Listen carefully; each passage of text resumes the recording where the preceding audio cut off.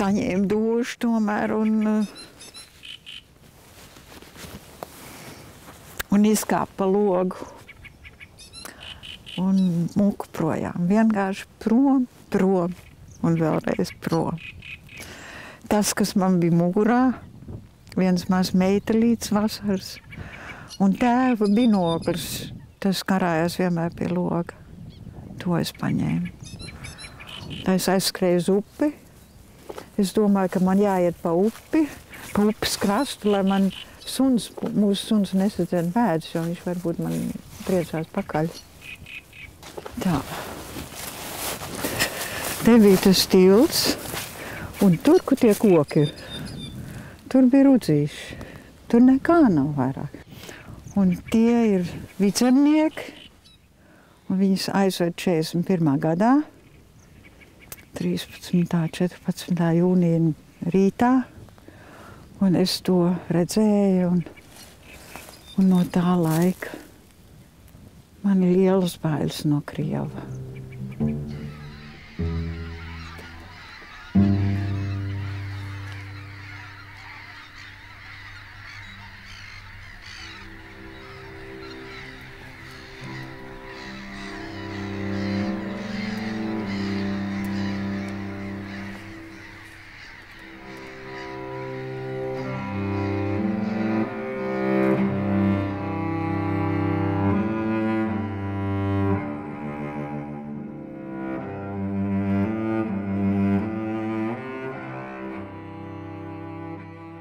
Es atceros, es nezinu, vai tie bija vācieši, krievi, es nezinu. Jā. Un tad mēs redzējām bumbas, kad krita pāri, kaut kur pāri pilsētai, sarkan, un tas tik skaisti bija tā kā fireworks, kas ir fireworks latviski. Petardas. Jā, un, Uguļošana jau. un mēs redzējām, mēs smējāmies, tas ir brīnumīgi skaisti un interesanti. Un tad viena bumba krita pāri ielai. Un bum! Un mans brālis un es un tēvs no tā skaista spiediena. Mēs kritām atpakaļ un kritām atpakaļ, atpakaļ un zem klavierēm mēs. At, un mēs bērni smējāmies, mēs domājam, tas ir tas lielākais prieks. Un tam mēs vairāk nepalikām. Anyway, moving fast forward, uh, August of 1944, my mother and I escaped. And uh, the only thing I recall, and, and they were actually quite vivid memories. It's hard to believe uh, someone that's three years old, but I it was August, it was hot. I still remember the sun. And she was carrying, um, obviously, uh, as much as she, goods as she could, going into an uncertain, uh, on an uncertain journey. And uh, she would ask me to walk from one telephone pole to the next one and to the next one and the next one. But I also remember uh, some of the more unpleasant tasks of, of uh, initially of the bombings and uh, because we got there before the war ended.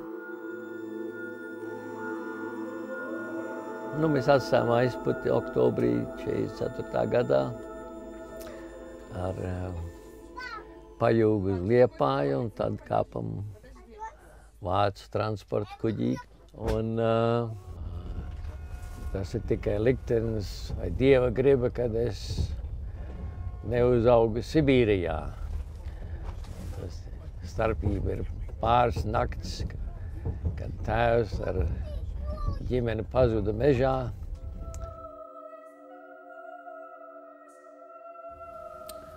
Manu uh, krustēvu nošāva. Viņš pa daudz lēni kāpa vagonā, uh, uh, kas viņu vestu uz Sibiriju un viņu uz vietas nošāva. Nu, tā jau labi, ka mēs tikām vispār ārā. Jo, jo ja mēs būtu palikuši noteikti, mēs būtu aizsūtīti uz Sibīriju kaut kur tā vai tā. Vācu armija ienāca Latvijā un tad atrada vietējā tanī policijā čekā, ka beig beigās bija atraduši mūs. Un nākošā dienā būtu bijis, vai ne, pavēle mūs visus apcietināt un izsūtīt veco tēvu apcietināt un nošaut.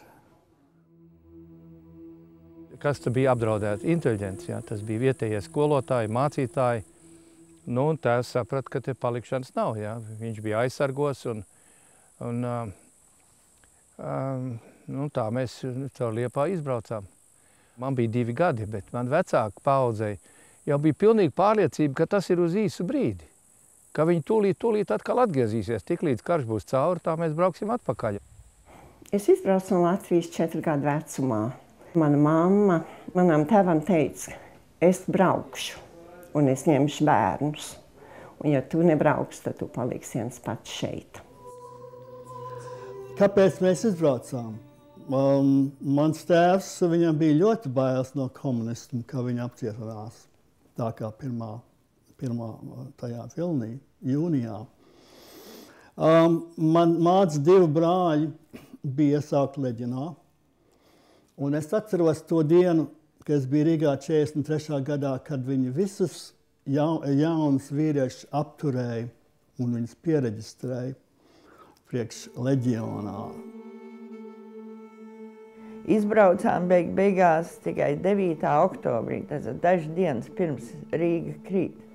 Un ielas jau bija tukšas, un uz ielām ķēra cilvēkus un vācieši liku uz um, kuģiem un vedu uz Vāciju, jo Vācijā bija ļoti maz uh, darba spēka palicies.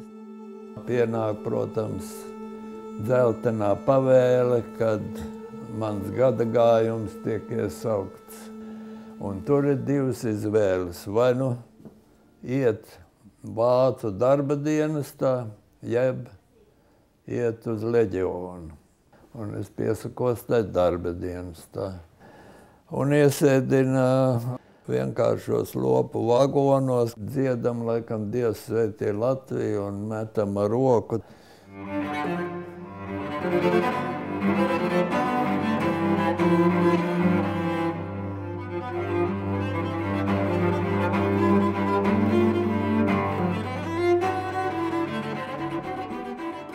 Ceturtā gadā pa nakti.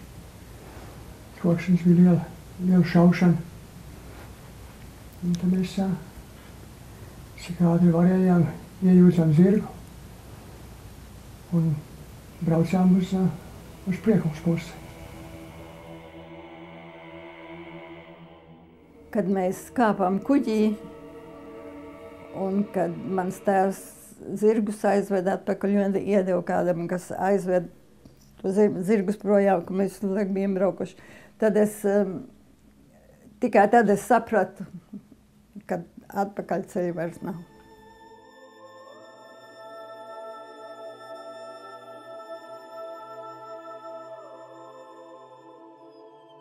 Kuģis bija pārpildīts ar, ar ievainotiem karavīriem, bet lielākoties ar bēgļiem no Latvijas. Viņi sāk izdalīt glābšanas jostas, bet nebija pietiekoši. Es un mamma un tēvs nedabūja nevienu jostu. Bet mēs bijām apmierināti, ka mēs bijām tikuši uz kuģi. Nu, mūs atklāja tūlīt tās krievu izlūklidmašīnas, un pēc stundas bija klāt bumbvedēji. Bumba trāpīja kuģim, netrāpīja kuģim, bet blakus kuģim un saplēsa kuģi no ārpuses. Un dabīgi, ja kuģim tā čaulē bojāt, nāk ūdens iekšā. Nu, pēc kāda brīža kapteinis grieza kuģi uz, uz otru pusi. Mums pieņēmums bija, ka kuģis brauc uz Zviedrijas krastu. Viens cits kuģis, ko mēs nokavējām, viņš aizgāja dibenā. Tā mēs tikām ar vienu no pēdējiem kuģiem, kas, nu, teiksim, janvāra mēnesī aizgājis. Dzirdēju, ka kāds man stāstīja, ka kaut kādā sot, es nezinu, martā vai pat maijā tikuši, kas man pārsteidz, tāpēc, ka es sapratu, ka vairāk nebija kuģi, bet, nu, tas būtu jāpārbauda vēsturniekiem. Mēs iebraucām 1. janvārī un arī uh, tur bija trauksums, uh, torpēdas, bija brīdinājumi par torpēdām, mēs bijām vispār uz klāja augstā, augstā ziemas naktī un tā, kaut kādā stadijā tur mūsu viens uh, vācu virsnieks faktiski savu kaģi tādiem mammai ir zīdājiem. Un, un tad, protams, manas māsiņas uh, nāva notika Tas māsīņas nav notika trīs nedēļas, apmēram 240 dienas pēc tam, kad mēs atstājām Latviju. Tā kā tas bija ļoti strauji.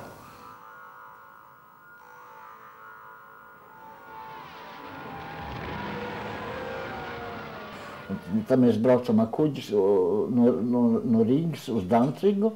Tas ļoti labi, kā mazbērns atceros to garo ceļu, tad viss izkāp no tā kuģa ārā. Tur jau viss vācu armija un visādi bēgļi un visādi veidi cilvēki bija uz mukšanas ceļa?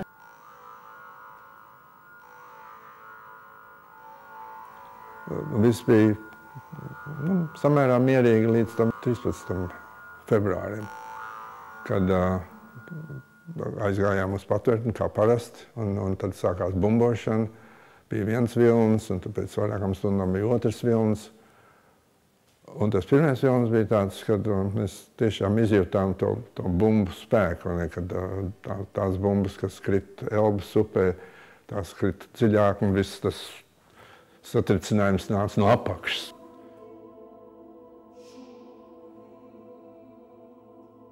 Tante un vecmāmiņa ilgi bija apraktis. Viņiem dzird, ka daži tur, tur kaut ko sauc vai klapējās un tad klauvē.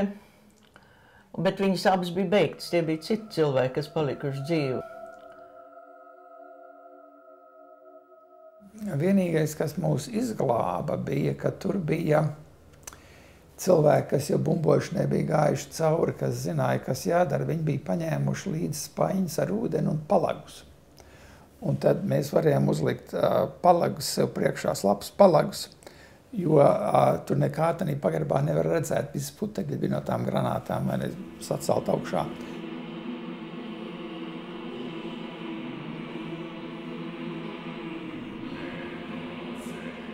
Tad tā krievi nāca stūmā, tad mums bija jāceļo tālāk. Un viņi mūs panāca eventuāli, un tā bija vienīgā reize, kad es biju pilnīgi panikā, jo es zināju, ka mūs nošaus.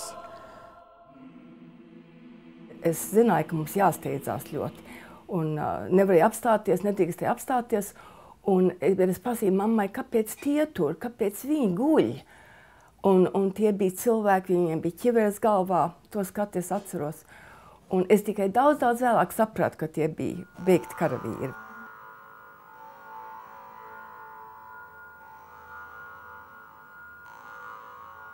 Vienā vietā bija, kad uh, uzreiz kliedz Krievi izlaižies, tanki iznākuši cauri, un tikai daži kilometri mums no aizmugures, viņi pilnā jaudā un, un brauc pār pa visiem zirgiem, viņi saka, lai uh, viss, lai, lai lec nos no bezam, ne, un, uh, un mūk projām.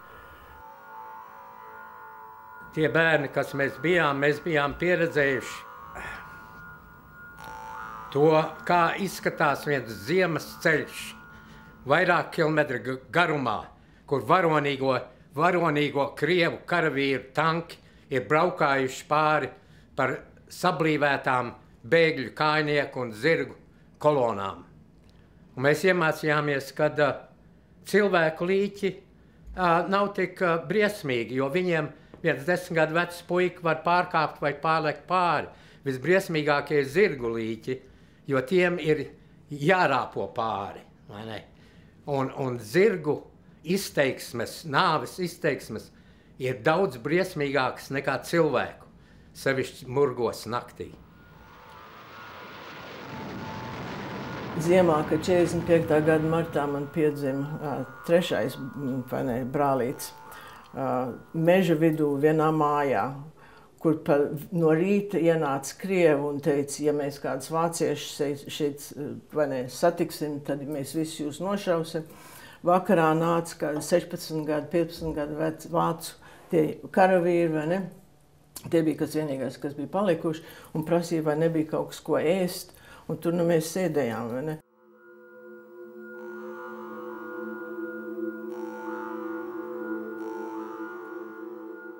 Tas bija ļoti dramatiski. Katru dienu bija jābaidās par savu dzīvību, jo kaimiņu mājās bija nošauti cilvēki, izvarotas sievietes. Braucot uz, uz Hanavu, kaut kur vienā vilciena stacijā uzreiz bija uzlidojums, un to staciju uzspridzināja. Un viss tas aizgāja. Mums absolūti nekas nebija. Māma teica, tikai nu, tā sega, sega uh, bērni tas viss, kas bija. Gaidījām, gaidījām, beidzot nāk viens vilciens.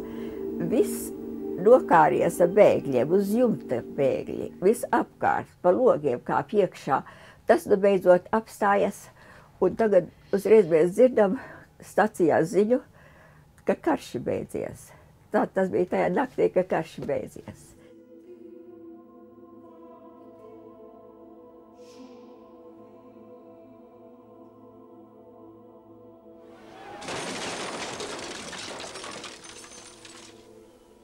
Tai pamiera dienā man taisnība palika 9. maijā, man palika 21 gads. Es domāju, nu, tagad es esmu pie, uh, pilngadīgs, es esmu vīrs, bet visa mana dzīve ir beigas. Latvijā ir krievi, Sudetijā ir krievi. Es jau nezināju, ka man vecāki tiks laukā, vai ne? Es domāju, es te viens pats esmu pasaulē palicis.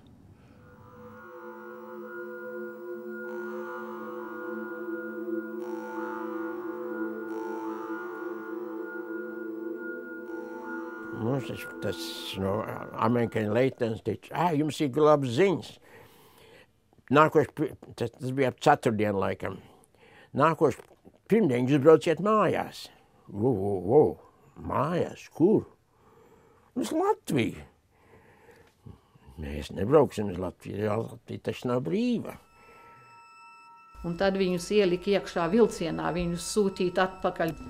Un es zinu, ka tēvs tikai teica, viņu jūt, ka nu, nu, atpakaļ sūtīt pie krieviem pēc visu tā, ko viņi bija piedzīvojuši. Viņi vienkārši negribēja. Un bija tā, ka um, dažās vietās, braucot pāri par upēm, kur bija sabojāts tilts, tur bija uzbūvēta tāda pagaidu tilta. Un tad, kad tuvojās upē, tad vilciens vienmēr ļoti, ļoti lēni sāk uh, kursēt. Un tad viņi teica, vienā brīdī, kad viņi redzēja, ka nāk tuvojās upei un ka vilciens ļoti lēni brauc, izleci viens ārā, izsvied māsiņu un tad lec otrs. Un, un tā viņi atkal staigāja. Nu, jā, nu, te iebrauca iekšā amerikāņi un tad pamazām sāka apzi, ap, apvienot un apzināt latviešus. Un toreiz bija UNRWA, tā United Nations Relief and Rehabilitation Organization, viņi par mums sāk gādāt, un, un latvieši paši sāk organizēties.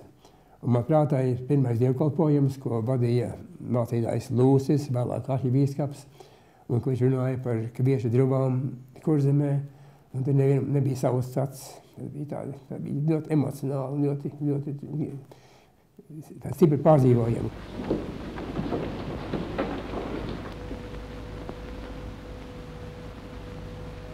Visu varenais Dievs, mīļais Tēvs, mēs nākam Tavā svētā vēga priekšrasam lūkšanām par mūsu mīļo Tēvu zemi, Latviju, par visu mūsu tautu. Mēs lūdzam par mūsu tautas brāļiem, māsām, tālā Sibrijā, kas aizvest. Mēs pavēlam Tavai žēlastībai visus tos, kas gaida uz Tavu pestīšanu mūsu mīļā dzimtenē un lūdzam uztur mūs visu tai pārliecībā un ticībā, kā tu mūs reiz vedīs atpakaļ mūsu mīļā tēva zemē. Tā pacilātība un viss tā, tā, tās emocijas cilvēkiem tad, jo mēs nezinājām, kas notiek. Mēs, um, vai ne, visi bijām uztraukti un, protams, arī domāju, ka drīz jau mēs brauksim atpakaļ. Kas tā nebija.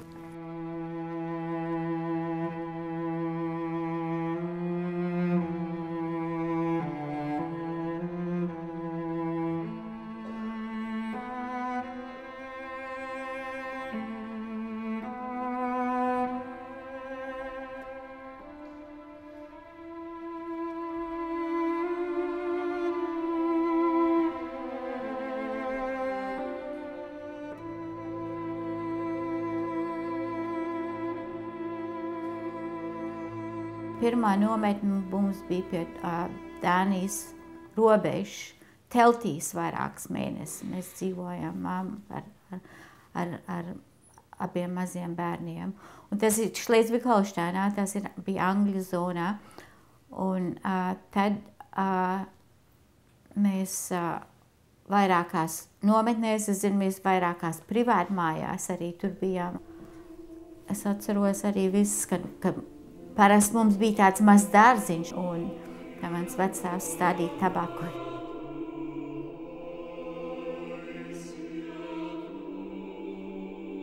Mūsu mājas dzīve bija vienkārša. Mēs aizbraucām, man, tik, man uz kuģa palika astoņi gadi, man bija brālis, seši, māsa, uh, kurai bija divi gadi, un es biju jau toreiz, es biju atbildīgs, es biju tas vecākais, jo vecāki, uh, vecāki strādāja pa dienu, viņi gāja vakaros skolā, un bieži vien es jau deviņu gadu vecumā tādu noteikti, es biju tas, kas bieži vien nu, sasildīja ēdienu, uh, rūpējos pa māsu tādu.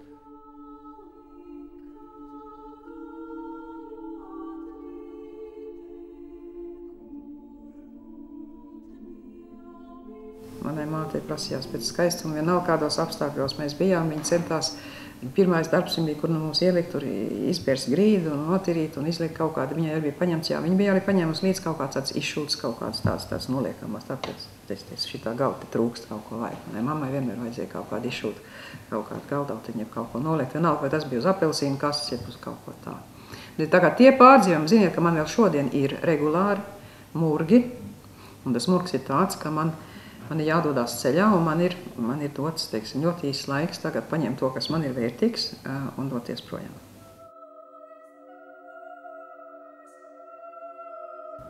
Mēs um, zīmējam uh, klases un, un lecām klases. Un, un, uh, viss vis spēļu mans mēs, mēs paši sagatavojām, un, un tur bija pašam viss, kas jāatrod.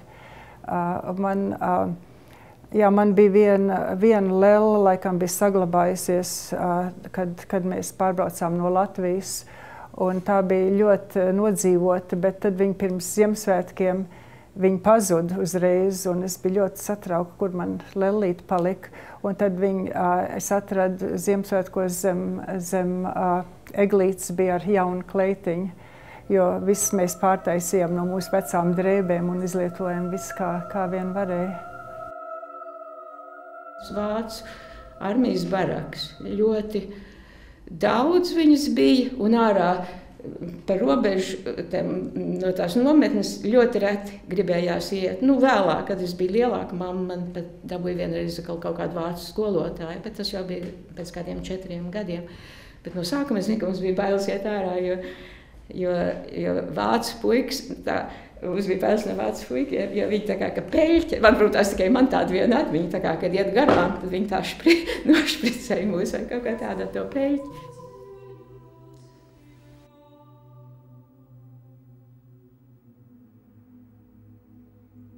Valka bija ļoti liela nometne, viena no lielākajām vispār. Tur mēs bijām divus gadus.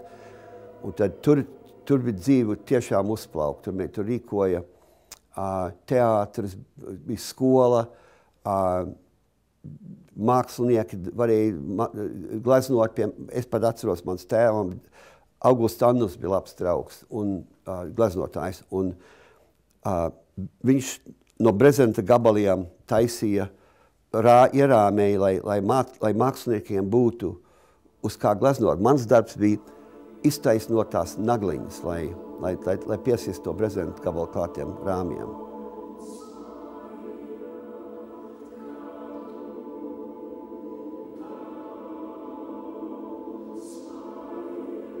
Un tā mēs ar visādiem vilcieniem tajā ausā tikam uz Dienvidvāciju Franču zonā, kuri pirmo reizi bija krietni labāk. Tur bija īstā to ko saka Displaced Persons DP nometne.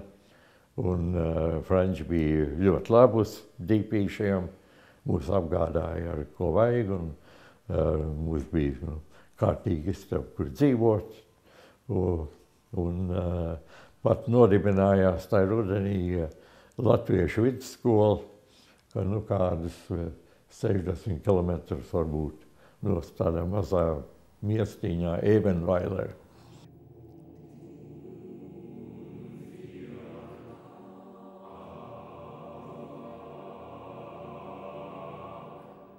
Un tad mūs pārvietoja uz Augustdorfu, kas ir pārpa kalnu. Un uh, Tur mēs bijām pirmie iemītnieki. Ne jau mūsu ģimene tikai, bet uh, arī citi. Mēs tur iebraucām.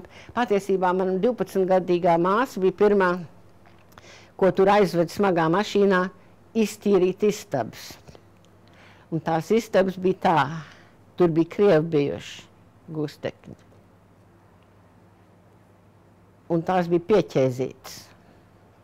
Es neteikšu ar ko, bet jūs varat iedomāt, uz griestiem visās sienas šķirbās. Kā var griezt pieķēzīt? Grīvens pilsētiņā apmēram vienu ceturto daļu civiliedzīvotājs vācieši iz, izņēma ārā un aizveda uz vienu meža malu, kur bija Hitlera laika flaka, kaut kāds baraks. Šos vāciešus ielika tur, barakās, un tos Austrum Eiropas bēgļus sadalīja pa šiem vācu privātiem namiņiem. Ja vienā namiņā dzīvoja viena ģimene līdz tai dienai, viena vācu ģimene, tad, tan, un tā namiņā bija četras mazas istabiņas, tad tur tagad iegāja četras, teiksim, latviešu, jeb četras poļu ģimenes. Amerikāņi lika ciest vāciešiem. Izdzina viņus ārā no labām, dzīvojamām mājām. Es domāju, nu, tādas blokmājas, piecas stāv un tā un neļāva neko ņemt līdzi, kā tikai to, ko viņi varēja ar roku iznest. Tas nozīmē, ka palika, visa mēbele palika mums. Tur palika klavieres un viols un viss, ko var iedomāties. Un, uh, tās bija labas mājas, tur bija vannas istabas, viss kas. Tikai nu, mēs bijām saspiesti istabās, 4-5 pa istabu. Tās mājas viss bija kārtībā, vācieši bija zīti laukā. Ja kāds pāris dienas deva, lai izvākties, vai ne? So, var iedomāties, kā tie cilvēki pie mums jutās. Absolūti, absolūti neciet latviešus. Lai gan tā nebija mūsu vaina, ka mūs tur ielika, bet, nu, vāciešiem tas bija vienalga. Viņi sauc mūs par Deutsche, Deutsche parazītni, kas bija nu, atvasināts no DP, DPs, vai ne?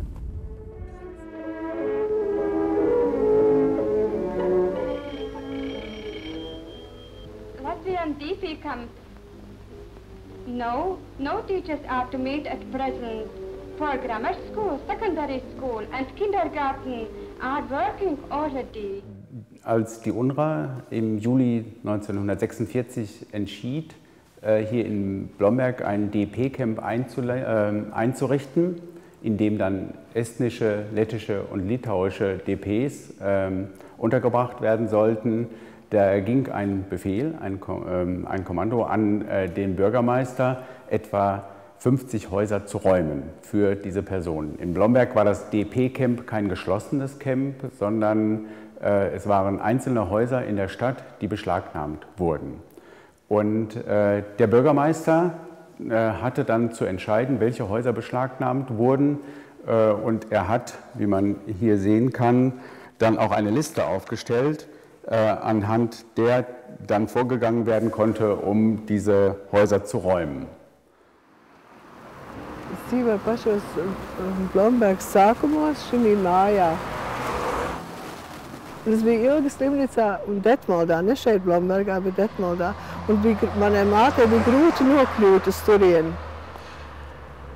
jo nebija tādi ar busiem, jau ar kādiem līdzekļiem, tad viņai bija jāprasa militārām uh, mašīnām, kas aizved. Un, un tad man jāsaka, ka mana māte, kā viņa atstāsta, ka tieši vācieši bija daudzi, kas viņai palīdzēja un prasīja, kā tam bērnam iet, un vai viņi var kaut ko palīdzēt, jeb kaut ko dot, jeb kaut ko aizvest. Un, tā kā tas Coremba kungs, kas ir Blombergs arhivārs, teica, nu, ka nebija vienmēr tik atsaucīgi pret bēgļiem. Man jāsaka tieši pretējās, ka viņi bija ļoti atsaucīgi. Mūs novietoja tādā nometnē, kas saucās Hersbruka. Mūs apgādāja ar amerikāņu produktiem, vai nu tie bija labi, jeb slikti. Katru vakaru, katru dienu bija tā saucamā zaļās briesmas, tā, tā zirņu zupa, vai ne? Nebija nākamā dienā nekas labāks nebija par iepriekšējo dienu.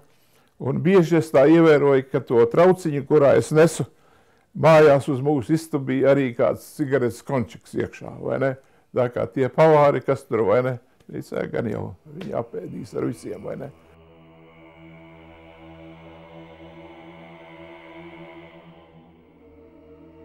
Tur bija ļoti aktīvs melnais tirgus, kā pēc kara.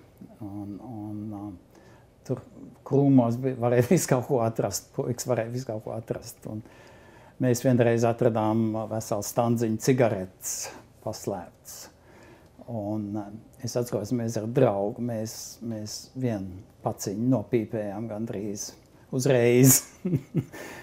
un tas man, man pārgāja viss, viss tieksme uz pīpēšanu pēc tam. Es biju, man liekas, slims kāds pāris dienas.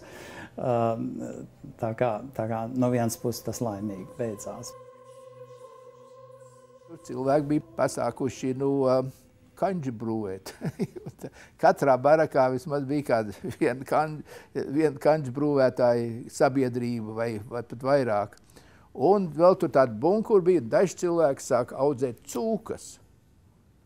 Es nezinu, vai jūs esat dzirdējuši, bet, ne, bet Libeks, Libeks nometnē tur bija tāds cūkaudēt. Nu, tas bija no tāds, laikam, vācu militāro, piedošana, vācu policijas zināšanā, ka tāds, un tas nav sevišķi sabiedrisks, ka, nu, te cilvēki dzīvo lielā nometnē, un arī cūks ir. So viendien mūs aplēns visus aiztaisīja visas vācis ciet un atbrauc vesels bars policists un sāk tur ņemt laukā un paņēma visas cūkas nost un visus tos kanģus paņēma izgāza un es nezinu, cilvēks laikam neviens neapcietināja, bet to viss izdarīja. Tas bija policijas uh, nometnes priekšnieks. Galvenokārt bija problēma, ka gāja pie vāciešiem zakt. Leiši jau bija tie bezkaunīgākie. Latvieši tie varbūt nozagās zaķu, sūku, vistu. Bet uh, lejuši zem govis. Un, nu, tad atbrauc vācu, vācu policija, vācu žandarmi, nu, atdodiet govi. Nu, ja tie pa nakti nebija to govi sadīrājuši un sadalījuši, nu, tad govi atrada. Nu, tad bija nepatīkama uh, situācija. Bet uh, ar laiku, ar laiku uh, arī, arī mūsu draugi lietuvieši palika godīgāki un tādi tā, tāda zakšana vairs nenotiek.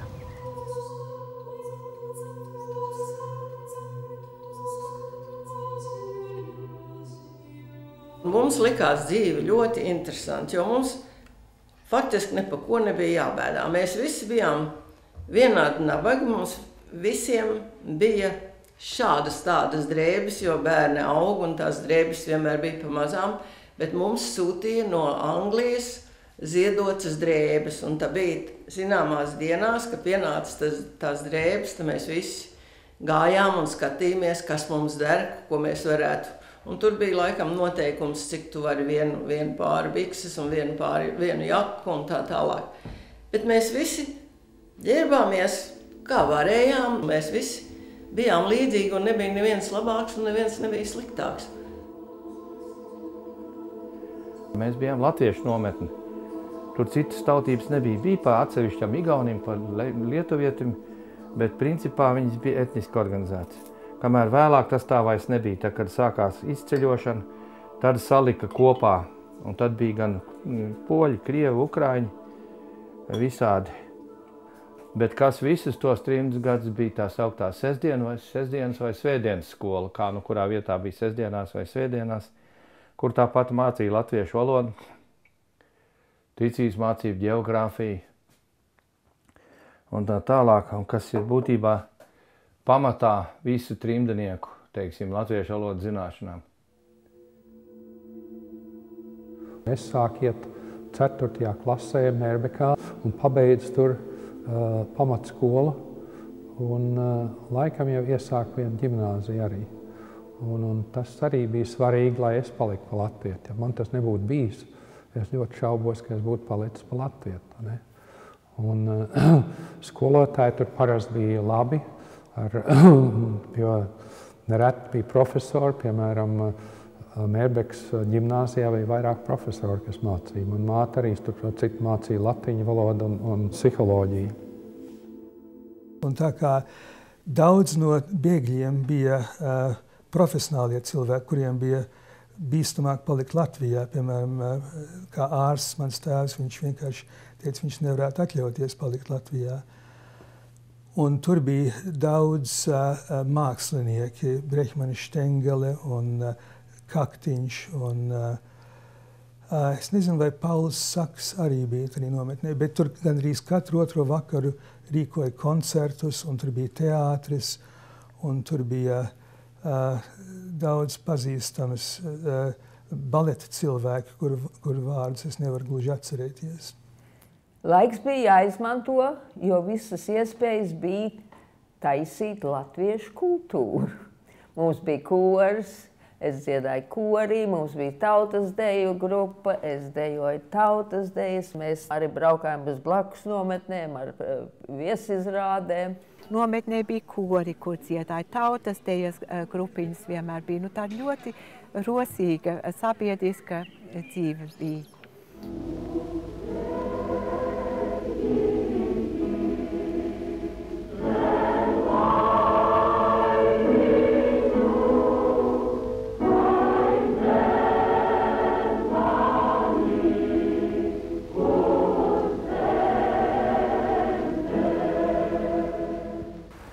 Nometnēs izveidojās tas, ko es saucu par trījus ideoloģiju.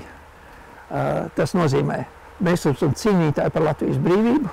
Mūsu mērķis ir atgriezties Latvijā un darīt visu iespējamo, lai saglabātu tīru latviešu valodu, latviešu kultūru un lai turētos kopā.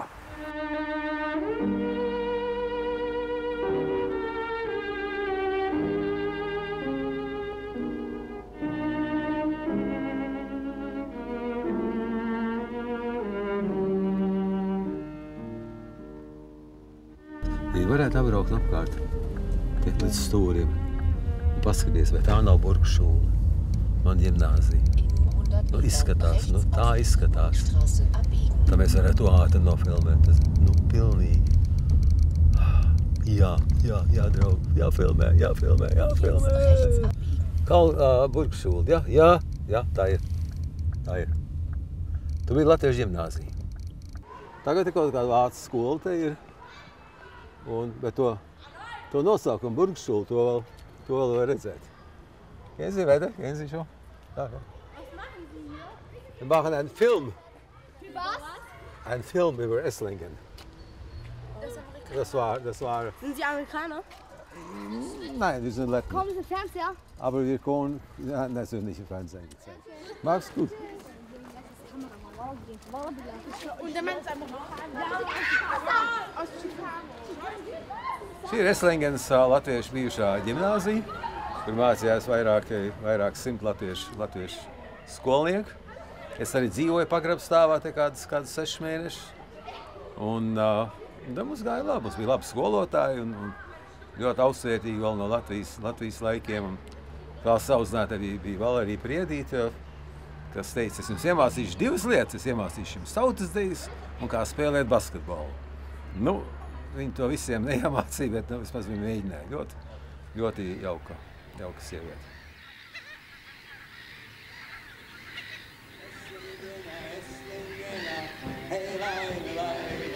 Kas tā tāda eslingena, hei laili, laili, lo, man atmiņā kā gaisa stīga, hei laili, laili, lo, kad ļaudis teikt, šeit mazā Rīga, hei laili, laili,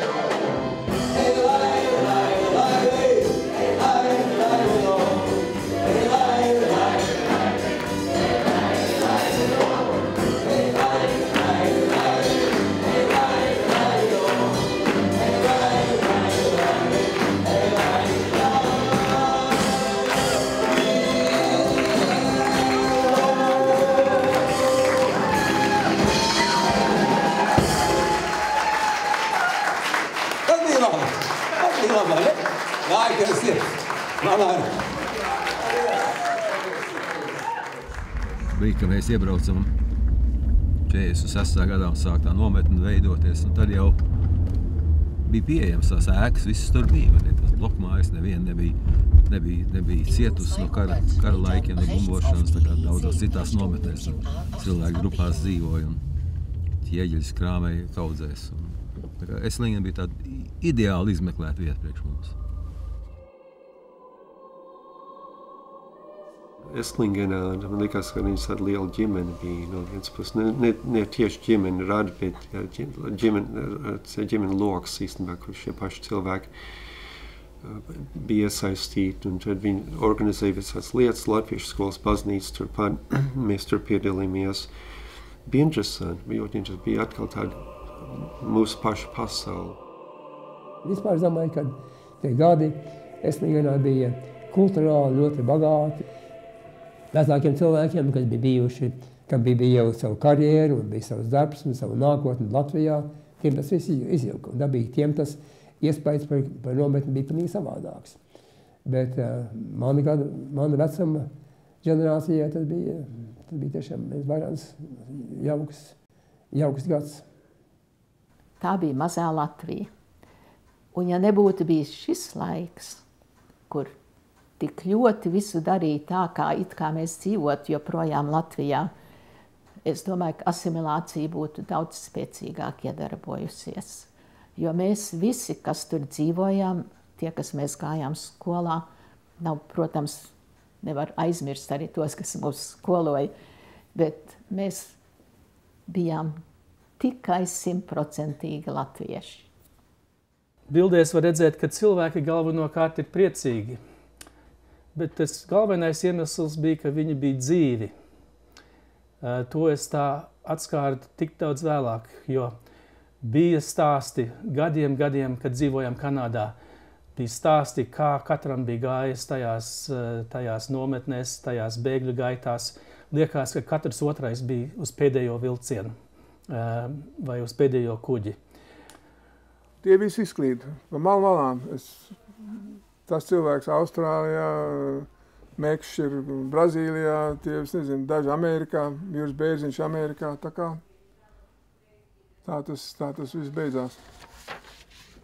Bija daudz labas lietas Eslingas nometnē. Es skatos tās bildes, un kas man visvairāk, pa ko visvairāk sāp sirds, ir, ka tajā pašā laikā mūsu cilvēki brauc otrā virzienā uz Sibīriju, kur, kur ne tuvu nebija tādas, tāda apstākļa kā mums. Mums jau nebija ne, nekāda galvenā dzīve, jo bija zaļās briesmas, bija citas problēmas. Bet, uh, Mana māte palika viena pati ar diviem bērniem, un tad viņa pavisam īsi bija tāda cerība pēc tā laika, kad mans tēvs nomira, ka viņa bija iemīlējusies vienā uh, latviešu fotogrāf, fotogrāfs, žurnālists. Bet tas iztaisīja pašnāvību tam dēļ, kad uh, viņa brāli uh, Latvijā uh, čekisti, KGB, uh, sāka apspiest un viņam piesējās te Vācijā, lai viņš strādā priekš Krieviem. Uh, Un ja viņš to nedarot, tad tam brālim Latvijā iešot ļoti, ļoti slikti. Un to tas žurnālists nevarēja izturēt, un viņš pakārās. Un tādā veidā arī tāds, tāds, tāds, tāda iespēja ar kādu cilvēku vēlreiz dzīvot kopā, tas tad aizgāja, nebija vairāk neeksistēja, aizgāja prom.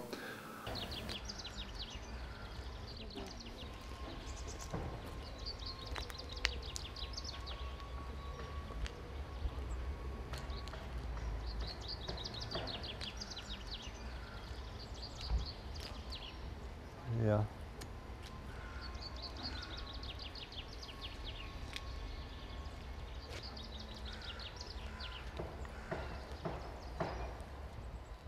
Bet kaut kur ir arī individuāli kapti. Bet kur tie ir manu mazākā jēga?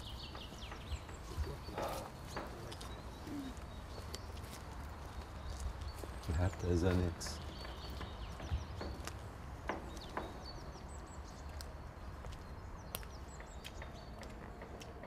Ah, te guļ Bruno Briedis, viens no maniem draugiem, kaimiņš nometnē. Tas brīnišķīgs cilvēks emigrēja uz, uz Venecuēlu, cēla augsts celtnes kopā ar Vītolu. Brīnišķīgs cilvēks. Viņu vairs nav. Sveiciens no viņa sievas. Viņš dzīvo vēl vienmēr Venecuēlā. Un viņiem ar tiek šie pūpoliņi. Dus die mierā, Bruni.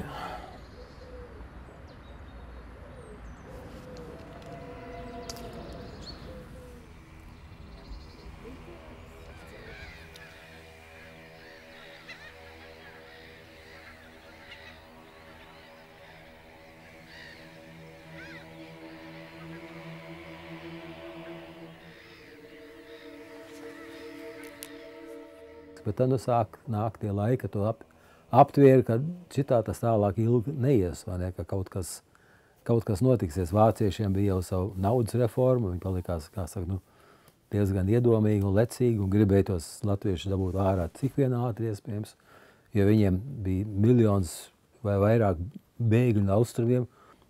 Un, uh, tas bija arī viens iemesls, kāpēc cilvēki taisījās prom, jo visi zināja, ka tā palikšanās Vācijā tā ir tik tā, tāda nīkšana, nekas tev pabaro un tev, tev ir, ir jums virs galvas, bet tas arī, tas arī viss, vai ne?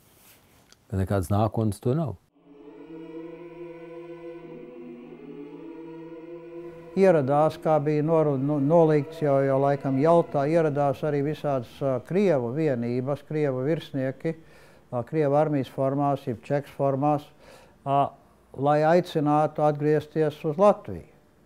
Un es atceros vienu reizi, kur es arī biju klāt, kur tur bija viena diezgan liela grupa, un tie krievi virsnieki bija uz, uz, uz vienas mašīnas uzkāpuši un tur, tur runāja. Un viņi, viņi tika izsvilpti. Viņi pilnīgi tika izsvilpti, un, un, un, un, un tur bija bļaušana, un sievietes tur, tur, tur brāva. Katrā ziņā nekas tur daudz neiznāca. Cik es dzirdu, daži jau aizbrauca, bet, bet ļoti maz.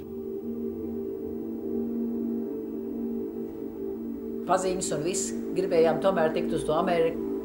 Un uh, Amerikā tomēr bija uh, daudz labākas iespējas, ja varēja tikt. Un, protams, lai uz Ameriku tiktu, vajadzēja atrast sponsoru. Un uh, Lutāņu pasaules World Federation, pasaules apvienība, uh, toreiz sponsorēja ļoti daudz cilvēku, un tur varēja pieteikties. Un mūsu ģimene aizsūtīja vienu ģimenes bildi, kur ir mamma un paps un divas meitas ar baltām krādziņām, tumšās kleitiņās.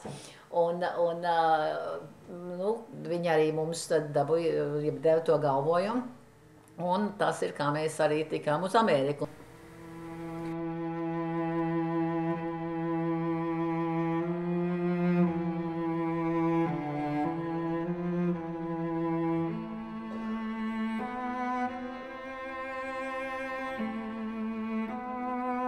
Mums ar māti ierādīja kajītes pašā apakšā, un tās bija trīsstāvīgas. Tā kā tai pēdējai personai bija jārāpjas tālu, tālu augšā, un kā mēs nogājām lejā, tur nelabi oda, tur jau citas bija palikušas, kļuvušas slimas, un tā vēl rāpties augšā, tas gandrīz likās, ka neiespējama, un tad cik nu ilgi tā var izturēt? Nevar. Jāiet atpakaļ svaigā gaisā, un nu ir augsts. Brauciens ilga 14 dienu līdz Ņujorkai. Un tam es, es nosolījos nekad mūžā kāju nespērt uz kuģa. Tas bija tik briesmīgs. Lielākā daļa bija slikta duša un cilvēki vienu pa labu un pa kreisi. Um, bet tad es atceros, kad mans tēvs uzved mūs augšā ļoti agri no rīta, nebija vēl saula augšā uz um, uh, kuģu uh, nu, deka. Un um, mēs redzējām um, Statue of Liberty. Mēs braucam Ņujorkas uh, ostā iekšā, un tur miglā bija tā dāma. Taisn tā kā pasaka, mēs redzējām to. Es biju ļoti sajūsmā par to. Šeit es, man māte, es vai tas mans brālis vai, vai nav, labi nevar redzēt tā. Un uh, manam tēvam bija tuberkuloze.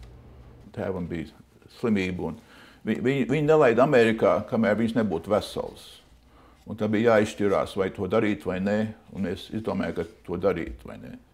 Un tā bija, tur, tur nebija viegli to izdomāt tā, bet to izdarīju. Jā.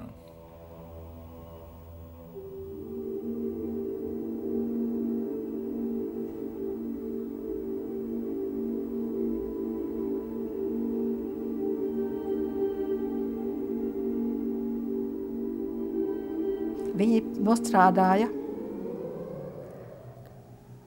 to gadu tajā kafetērijā. Tēvs mazgāja traukus, māte servēja, maksāja drusku, un vecā māte tīrīja tās barakas. Un jau mēs bērni gājām tajā vietējā skolā. Tas nostrādāja to līgumu gadu. Mums ēšana un dzīvošana bija pa brīvu. Un pēc gada mēs bijām brīvi. Iet, kur mēs gribam. Tā, pirmais gads bija tas, kā teikt, tas, tas, tas, jā, tas gadiņš, kas jānostrādā pie tā galvotāja. Un mēs bijām tādā hotelā Aiova, Kielkukā, Aiova. Un, um, un tur, nu, tur bija viss tā viesnīca, gan bija sastāvīja no latviešu. Viss tās mūsu mammas strādāja pa apteksnēm un, un grīdas mazgātājām. Bet tas bija galvenokārt mūsu dēļ, bērnu dēļ, nekā viņa dēļ. Viņam, viņam būtu dzīve vienkāršāk bijusi Eiropā palikt. Bet uh, viņi domāja, ka priekš mums nākotnē drošāk šeit. Un, un, un tā varbūt, es domāju, tas bija pareizi. Tajā laikā, tajos apstākļos tas, tas bija pareizi.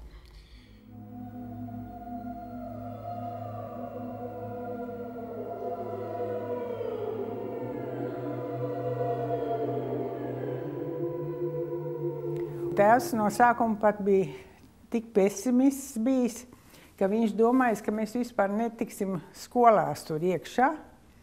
Un viņš bija paņēmis līdzi no Latvijas um, fizikas un ķīmijas grāmatas, lai viņš mums kaut ko iemācītu. Bet, paldies Dievam, tas mums nebija vajadzīgs. Mēs tur gājām skolās. Un pēc tam universitātēs. Un tiešām mums ļoti izdevās, jo mēs visi četri nobeidzām universitātes. Nu, tad mēs braucām uz Halifaxu kuģi. Viņš bija uh, kaut kāds angļu transporta kuģis, kas visu laiku bija braucis pāri par Atlantiju, vadājot visu kaut ko angļiem no Kanādas. Un to mēs braucām uz Halifax. Es atceros, nu, pirmās pāris dienās mēs braucām caur Lamančas kanālu. Mēs braucām garām tam baltām klintīm. To es atceros. Mēs visi gājām ārā skatīties baltās klintis. Nu, un es atceros okeāns. Nu, vienmēr domā, ūdens ir zils. Tur viņš bija zaļš un melns un tāds dusmīgs. Tur, tur.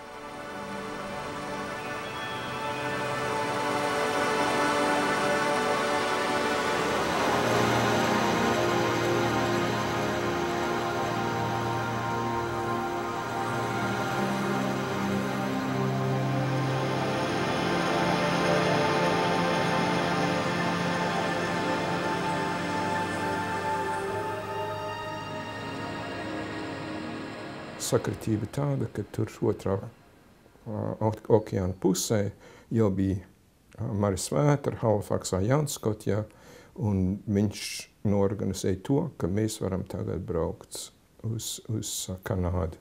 14. februārī 54. gadā mēs uh, ienācām Halifaksas ostā un izkāpām Kanādā. Visur tunsa, visur briasmas, tikai kalur jātumas.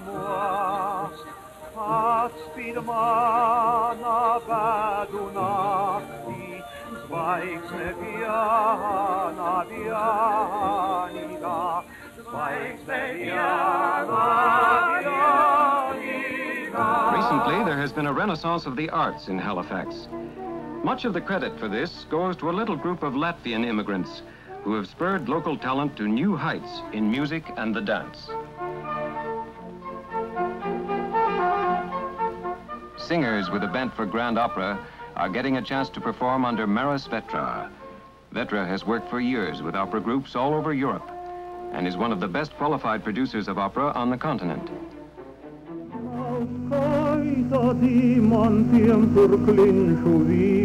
Vīles un perlem dārgākām, kas jūras sīles, kur tālā brīnu mendigā. Halifaksā ar latviešiem ir cita veida, teiksim, sabiedrība, kā es teiktu, bija Nārberā, San Francisco un ne Toronto, jo te ir nomali. Un, un, uh, es domāju, tā iepriekšējai paudzei bija daudz ciešākas saites, kas tikko te ieradās. Un te bija patiešām ļoti vērojami latvieši vai ne kundziņa ģimene, un te vienlaik bija Maris Vētra, un bija arī uh, kompanists, pagai, kur, kur viņš, kā viņš, viņš tagad, nu, Bransvikā bijis, tagad aizmirsts vārdu. Bet katrā ziņā te, te, te dzīvoja vairāki in, ļoti interesanti cilvēki. Kad es ierados, es varētu teikt, ka, ka, kad vairs nebija tik cieši, un, bet tomēr sanāk kopā un ir ļoti draudzīgi atšķirībā no dažām emigrācijas vidēm, kur ir daudz vairāk latviešu, kur, kur ir vienmēr visādi kašķi. Es varētu teikt, ka te dzīvo diezgan draudzīgi.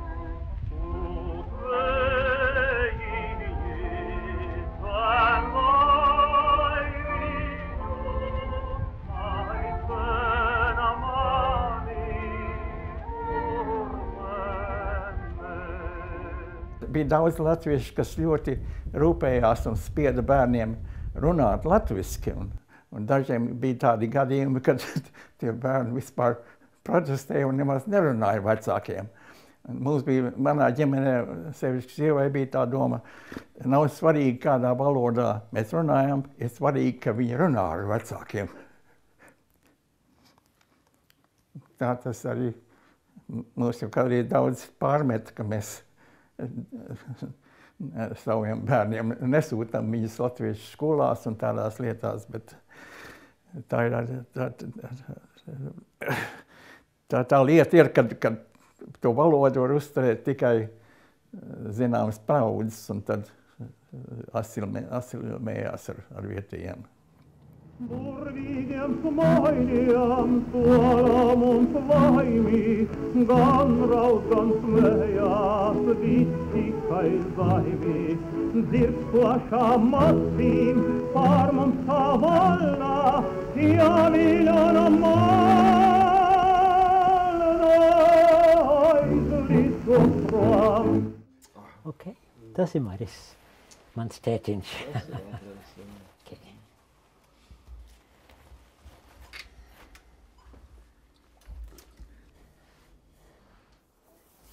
Un tā, bija, tā ir mana istaba, te es te dzīvoju. Viss istabas ir pat pilnas ar glazām no vienas.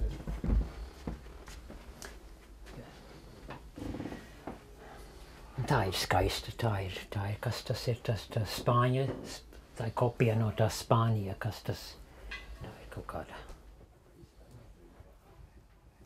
Šī gultā mana mammiņa nomira, te, un tam dēļ es te guļu, tad, lai tas esmu tuvu. Tā kā tā, tā, tā.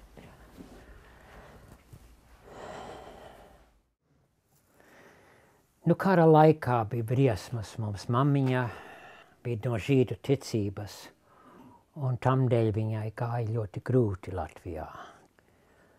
Un vācieši atbrauca uz Latviju, un tad omamiņai vajadzēja iet uz geto, kur viņu nošāva, un mammiņai bija vain, mammiņai bija jutās vainīga, ka viņa nebija gājusi ar mammiņu nomirt. Un tas viņai vienmēr bija iekšā. Es, es jums stāstīju par to. Bet lai cilvēki zina, kad Marisa vētra dzīve nebija tikai priecīga, kad nebija viss, bija arī traģēdija un briesmīgas traģēdijas.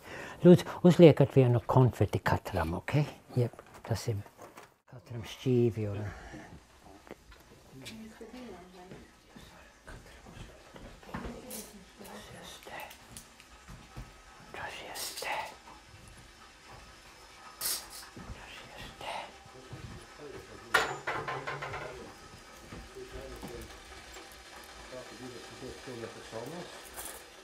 Nu, es spēlējos ar manām bildītēm.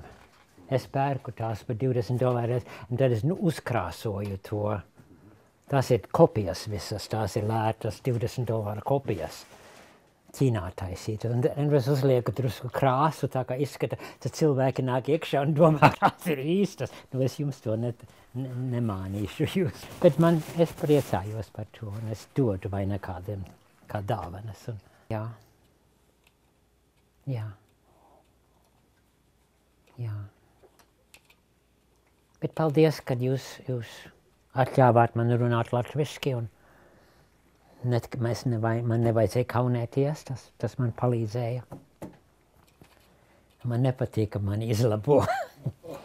nepatīk, ka man tad cilvēki man izlabot. Man cilvēki, kad es esmu latviešiem, tad viņi saka, uzmanieties, ko jūs sakat, Andrei. Nesakat pa daudz. Fuck you. Bet jā, tā, es dzirdu, tad, tad man es dabūnu tādas komentas. Tad, tad tas man ļoti dusmu, es palieku dusmīgā. Bet to jūs nerādat, kad es teicu fuck you.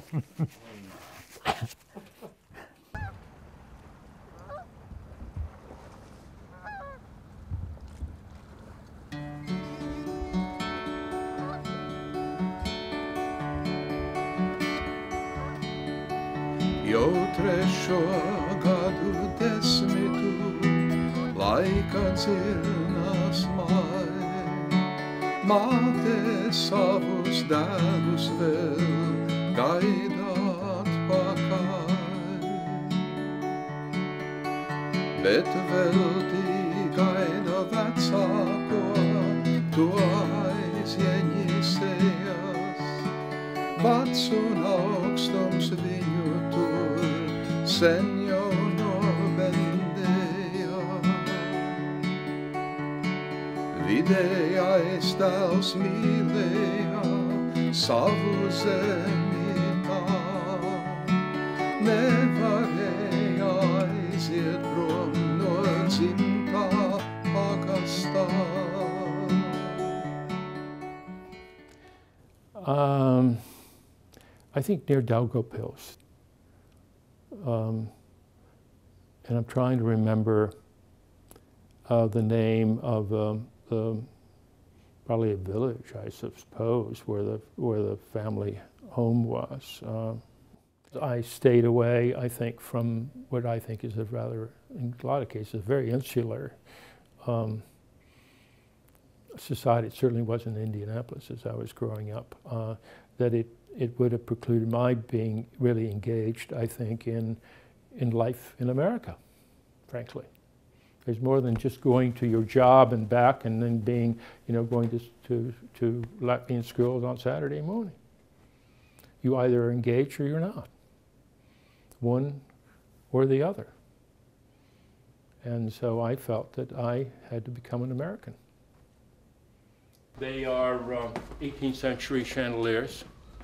Um, this is all part of the of the um, uh, my excuse me. And I will pour it into. Oh my goodness! I'm not a very good host. Nothing like talking too much about yourself. Okay. All right. And they're amazing because there are two missing somewhere.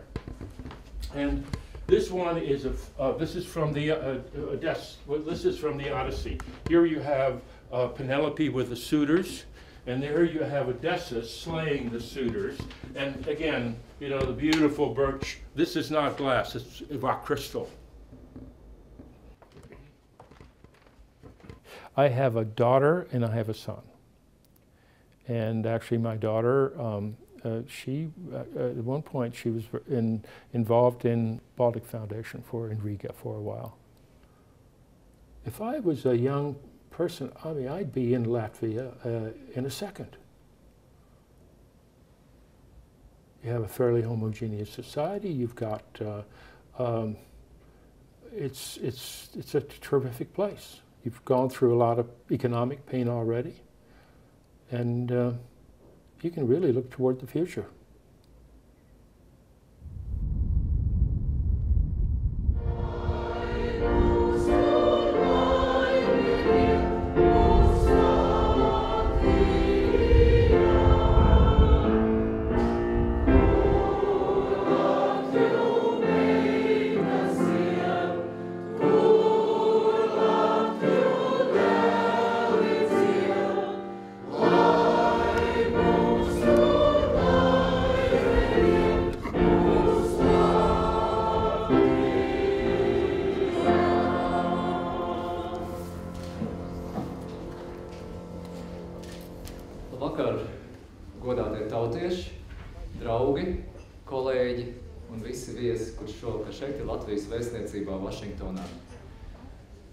Gaismas ir sadegtas, grīdas ir izmazgātas un pulētas, ēdiens ir sagatavots un mūziķi ir klāt, un vēstnieks var teikt savu runu.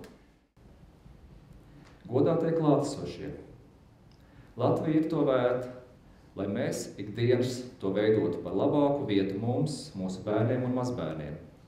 Vēsture māca, ka gandarījums rodas pēc smaga un mērķtiecīga darba. Pasaule vienkārši tā ir iekārtota. Jo grūtāks darbs, jo ar lielāku prieku jāķeras pie tā. Prieks par veikto kliedē nogurumu. Dievs svētī Latviju!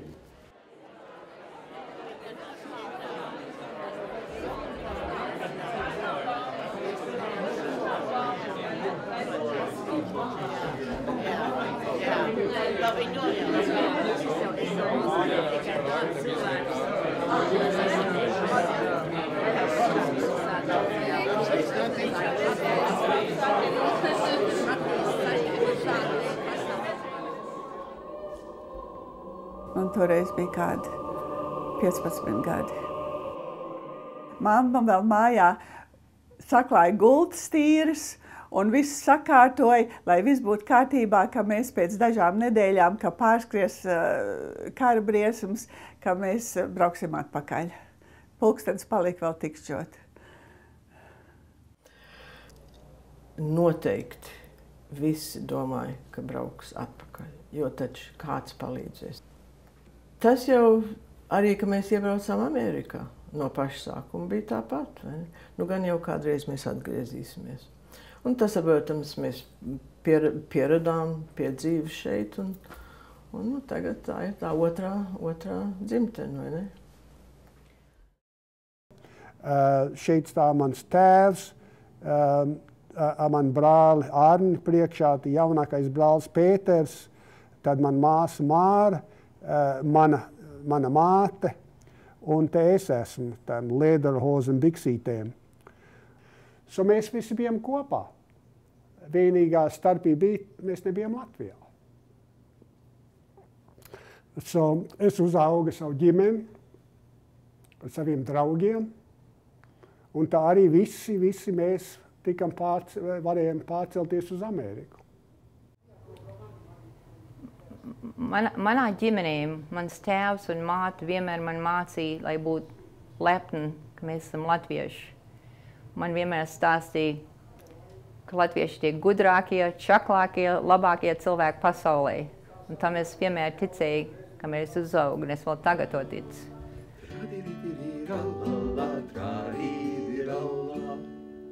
Pirmā trimdas gadā mēs visi dzīvojam, nometnē skaisti gulējam, kā slaisti streibām un zupas, māciešiem tika drupas, dzērām zūmju šņabi, dažiem nebija labi, kas tik bija laiks.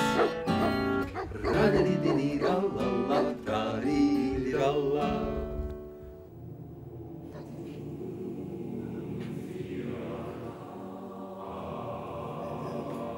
Es domāju, ka šitas ir Rīgā, ja varbūt Liepājā.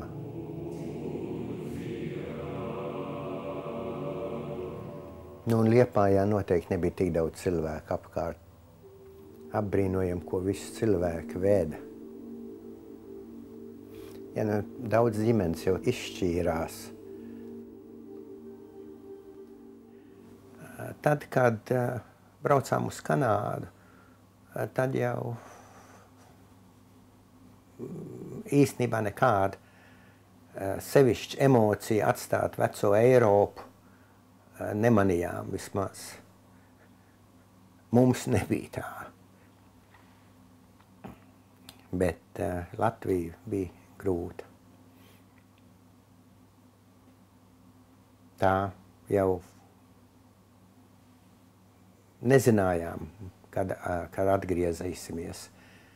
Vēl 48. gadā, kad es pabeidzu pamatskolu, tad mēs norunājām pēc pieciem gadiem tikties pie brīvības pieminekļa. Varbūt kāds bija šaubos. Un tur mēs esam tautas tētos, vai ne? Un tā esmu es no, no labās šī baraka. Jā. Tādās mēs dzīvojām, bet arī cik smuki apģērbti visi bērniņi, vai ne? Un, un manas saknes tomēr ir Latvijā, bet uz Latviju atpakaļ es, es nekad nevarētu braukt. Jo tomēr manas meitas ir šeit. Es nedomāju, ka viņas braukt atpakaļ uz Latviju. Um, tādēļ um, es, es, es esmu latvieta, bet tomēr tā amerikāņu sabiedrība ir daudz lielāka, ir daudz vairāk ko darīt. Un dažreiz, ja tu tikai latviešu sabiedrībā darbojies, tu gandrīz esi tikai tā kā, tādā geto. Un tādas nekad nevar būt. Pārcelties saka, ir, ir grūti, jo nu, jāturpina dzīve šeit arī. Es saku, tā, tā, tā tās organizācijas ir, ir svarīga. Tā latvietība šeit ir svarīga uzturēt. Un, un, un, un tad, tad, tad jāizvēl, tāda izvēle ir. Bet tu saki, Latvijā es jūtos, es nezinu, vai es pastāvīgi gribētu dzīvot, bet, bet uz ilgāku laiku apmesties man, man ļoti, ļoti patiktu tā sāpes. Varbūt eventuāli kaut kas notiek, nezinu. Bet par ko es pat brīnos, ir tas, ka es pat tagad nezinu, kur, es, kur ir manas mājas emocionāli. Vai tās ir Latvijā, vai tās ir Vācijā, vai tās ir šeit.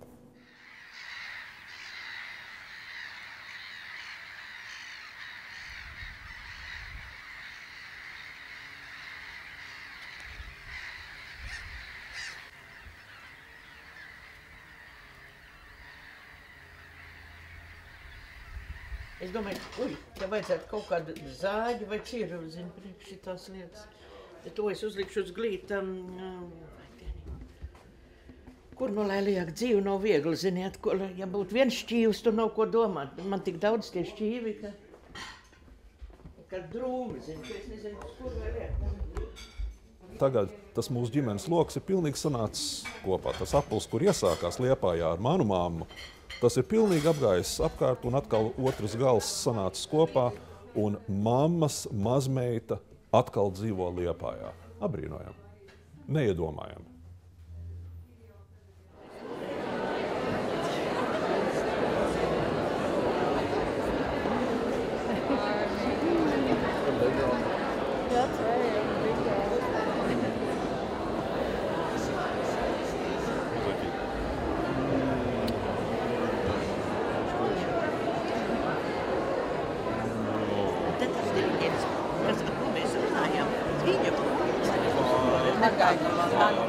Dzīvību nav jāskrien, bet apmēram tā vajag pateikt. Bet nevajag kaut ko.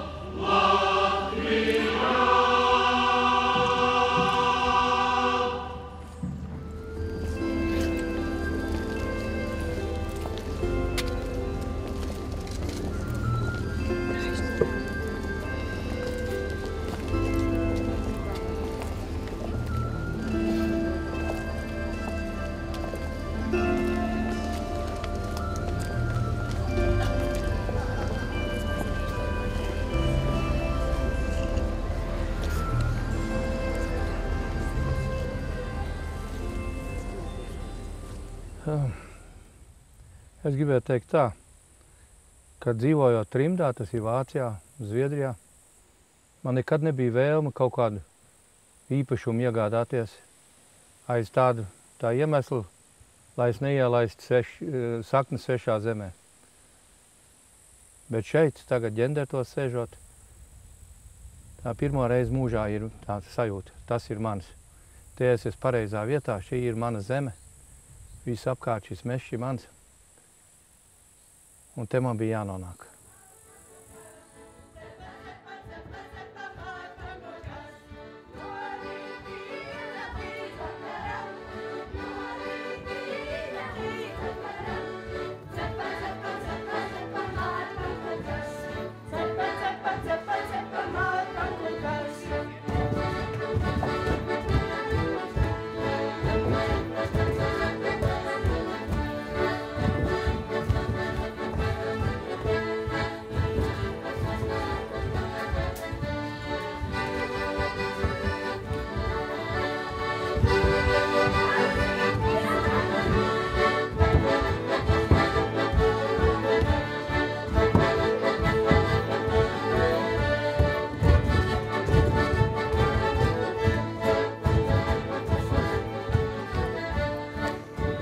Es jūtos fantastiski. Es jūtos, ka, ka es esmu patiešām pārnācis mājās. Protams, man nevar teikt, ka es esmu tagad atgriezies, ja es piedzimu Vācijā, bet es jūtos, ka es esmu atgriezies. Un kad es esmu tieši tur, kur man būtu jābūt. Es neiederējos Kanādā. Man ir astoņi brālēni un māsītes Latvijā, un uh, onkoļi un tantes jau nomiruši, un arī pārējie radi, bet um, man liekas, uh, tāpēc es saprotu, saprotu vēlāk, kāpēc uh, mani vecāki, um, kad viņi sadraudzējās ar kādiem, tad viņi turēja tos draugus cieši un mīļi, jo citu radu nebija, un tas ir vientoļi dzīvot tik tālu prom no savām mājām.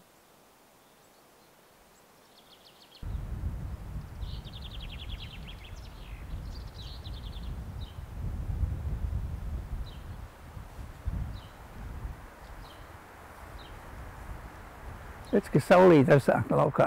Migla ir, šorīt bija diezgan bieza migla. Saulīte, vēl tāda vakara saulīte, un viss ciet Dievs sveitī Latviju. Un tas man ir palicis atmiņā. Kādā, ka es redzēju Rīgu vēl saulē, Rīgas torņus. Un man ienāca prātā, ka tas būs 44 gadi, kad es būšu atkal atpakaļ Rīgā. Un tas bija 88. gadā, kad es pirmo reizi pēc kara atgriezos Rīgā.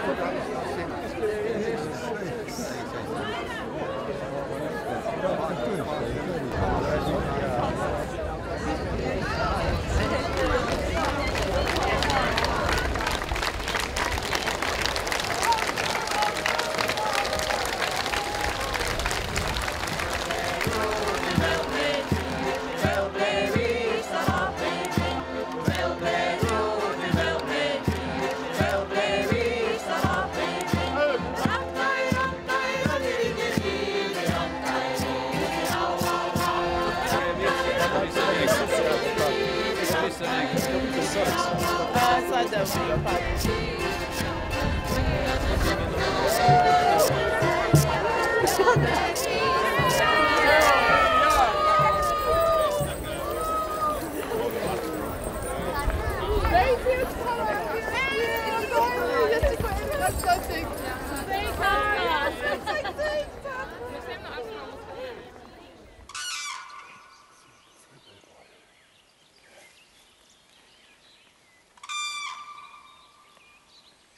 Es sāku atcerēties, tā uzreiz, uzreiz neatceros, neatceros visas detaļas, kā tur bijis, bet tas, tā, kad apskata to vietu, nāk viss atmiņā, paliek jau emocionāls, jo vienkārši, nu, tas ir tā kaut kas tāds, kas ir palicis atmiņā no bērnības.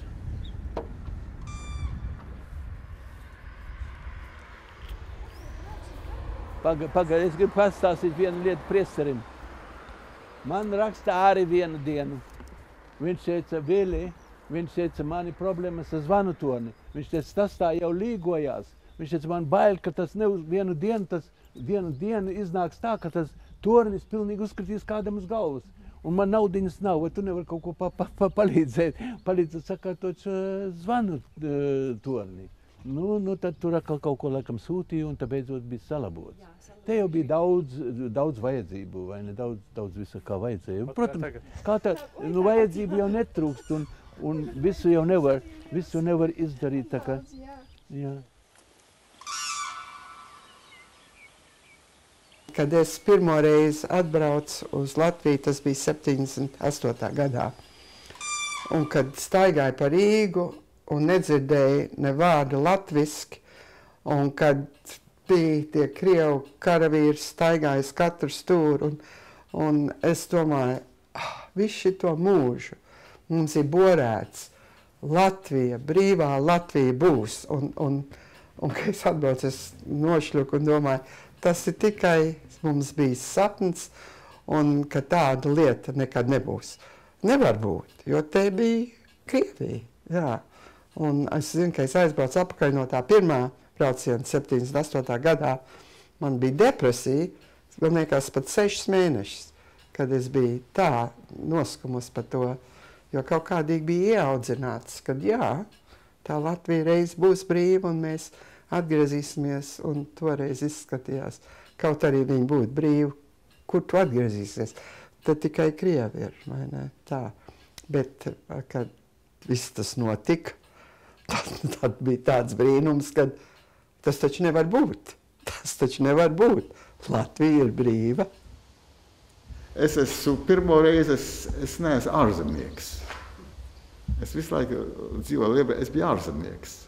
Jā, es, es nevaru pateikt, es esmu anglis. Jā. Jā. I was a foreigner. Es esmu mājās. Es skatos tās to angļu Es tā kā Mūzus 40 gadus ne, staigājis. Ja?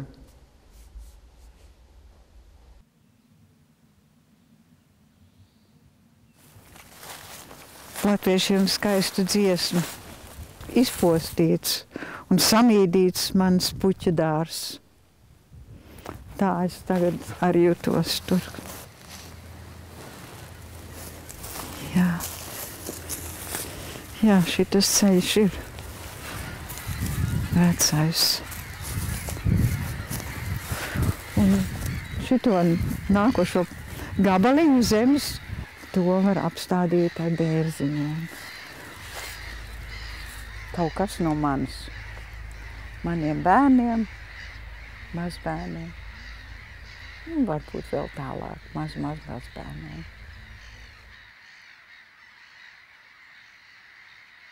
Tu taisi draugus jaunībā. Un tu šeit paņem un atbrauc, vai ne, un tagad vecumdienās, vai kā, un esmu pensionārs.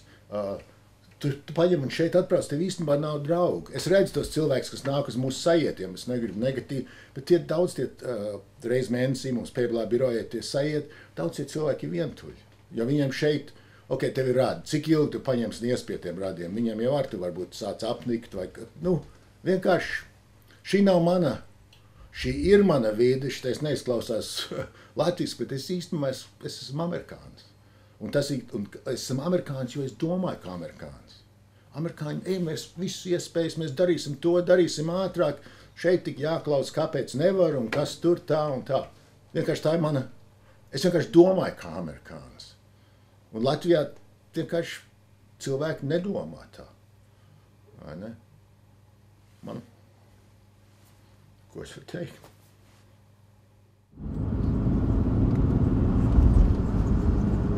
Es nezinu, cik tālu, cik tālu tas uh, džēms ir, un tur mūs var iedžemot. Un... Ja viņiem grib fotografēt. Nu jā, tā kā man gribam. mums va- jā, mēs, mēs redzēsim, cik sniegais. Nu jā, nu, bet labs, vēl. Un te ir pirms tā. Kur tā kapa vieta ir? Jā, es, es jums pateikšu, kad... Ā, sekcijā, kurā sekcijā? Section 4. Section 4. Section 4. Ceturtā.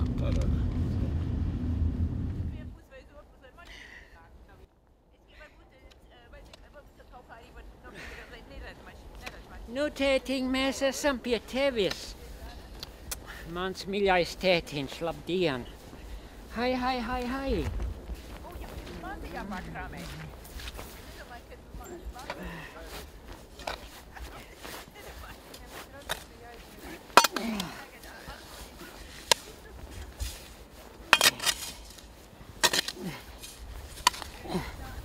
Redz, man svecīte man ir vēl te no Ziemassvētkiem.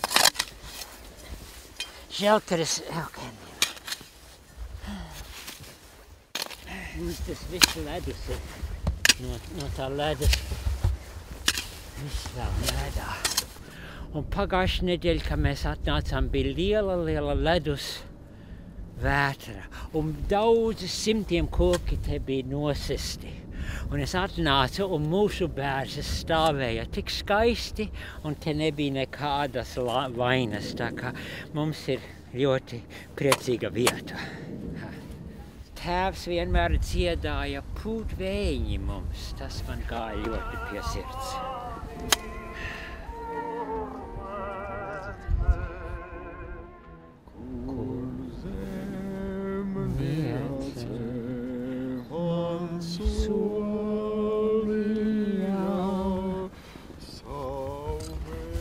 Ītiņ. Es vairs nezinu. Lieliņ. Okay.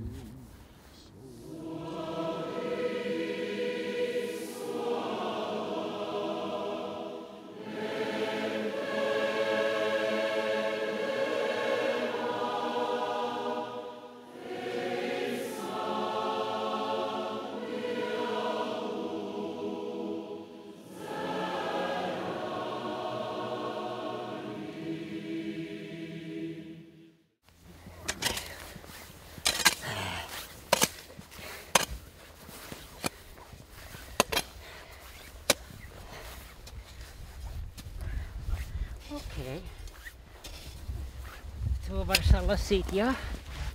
Es domāju. Te man visa ģimene ir kopā. Te ir ļoti skai, visi te ir latvieši, kā jūs redzat. Mums blakus ir Vītols. Vītoļa kungs bija pavārs.